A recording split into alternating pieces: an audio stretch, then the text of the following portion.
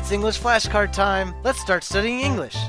9, 9, 10, 10, 11, 11, 12, 12, 13, 13, 14, 14, 15, 15, 16, 16, 17, 17, 9, 9, 10, 10, 11, 11, 12, 12, 13, 13, 14, 14, 15, 15, 16, 16, 17, 17,